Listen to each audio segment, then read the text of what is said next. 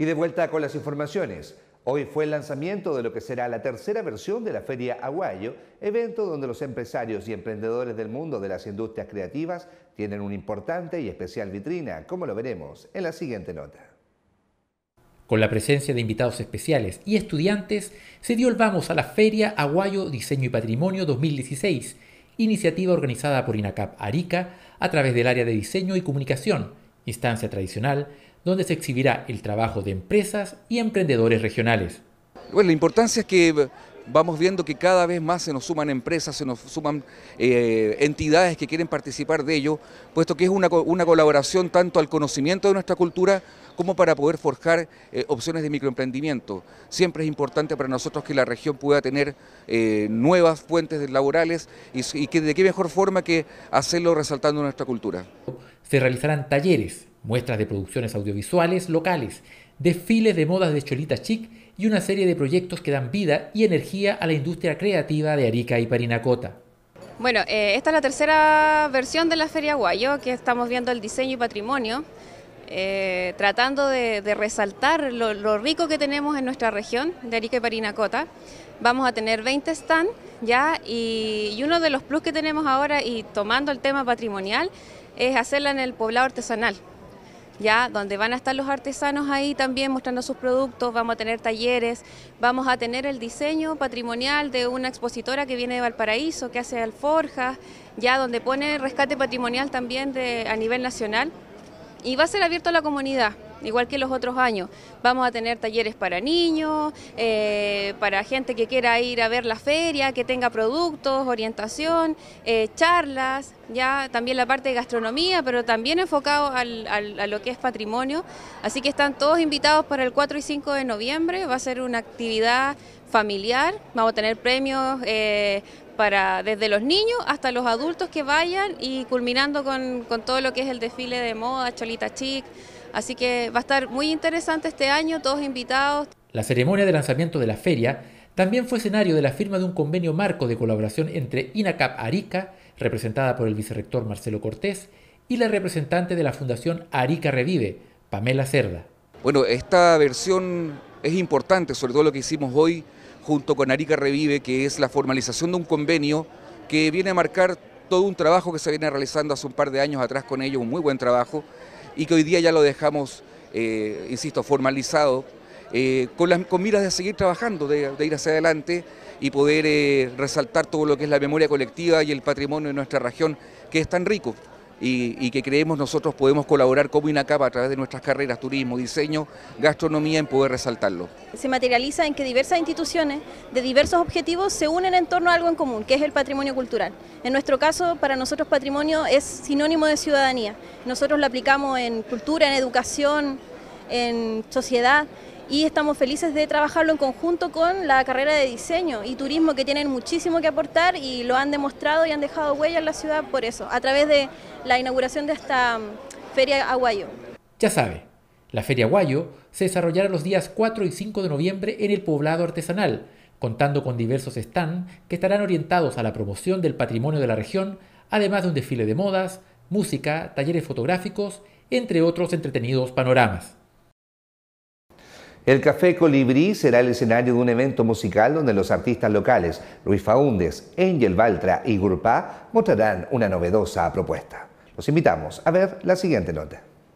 Este viernes el Café Colibrí de Arica, ubicado en calle Nicanor Molinares, recibirá un evento musical llamado Caminos al Mar, concierto cargado de puro talento ariqueño con las voces de Luis Faúndes, Angel Valtra y Gurpá, quienes en conjunto se presentarán por primera vez en un inédito formato, el cual cada artista colabora con el otro músico en la interpretación de sus composiciones. Esto con la finalidad de resaltar la unidad y colaboración de los músicos ariqueños, lo cual es base para el desarrollo de una escena no competitiva, sino más bien colaborativa como esta la premisa del compartir, del real compartir con los músicos.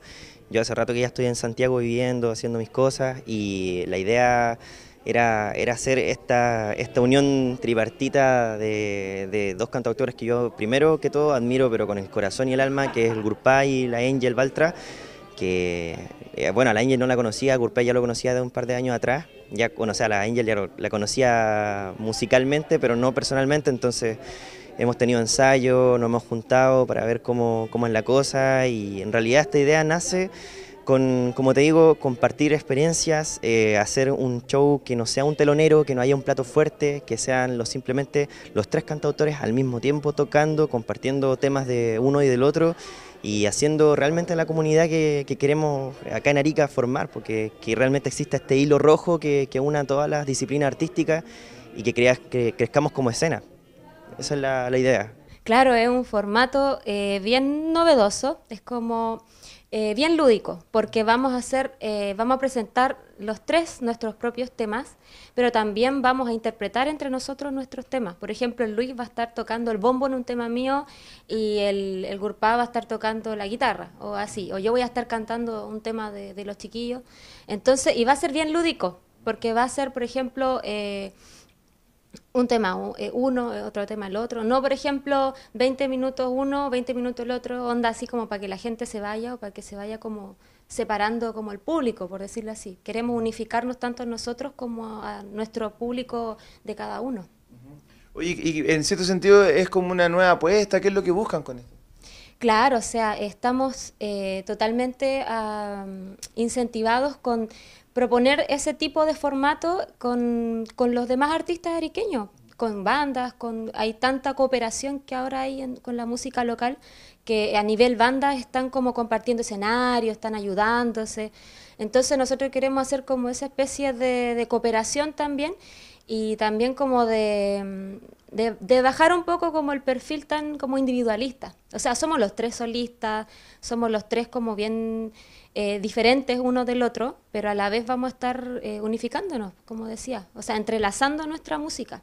Y esa es como la idea, como para dejar como un formato para ver si los demás también se animan a hacerlo. Bueno, en realidad es harto, ah, bien grato eh, compartir con gente que está haciendo lo mismo que tú, sobre todo en una ciudad tan chica y realmente no nos conocíamos hasta ahora, entonces es súper interesante aprender de las composiciones de los demás en realidad eh, ponernos de acuerdo para hacer algo bueno, eh, mostrar el arte que hacemos, mostrar el trabajo, eh, una experiencia súper positiva y estamos seguros de que, a la gente le va a gustar también porque tenemos toda la energía para hacerlo. ¿Cómo, va a ser el show? Me tengo entendido que van a ir compartiendo las canciones de ustedes mismos.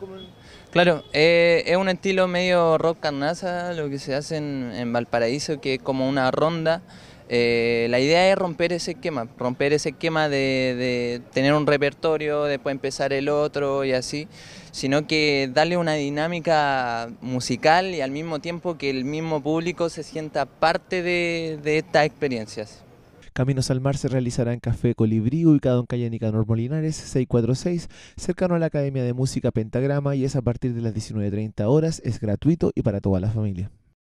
Y con esta última nota estamos cerrando la revisión de las informaciones del día de hoy. Gracias por acompañarnos y los invitamos, como es habitual, mañana a partir de las 22 horas en una nueva edición de Notivisión. Siga nuestra sintonía. Buenas noches.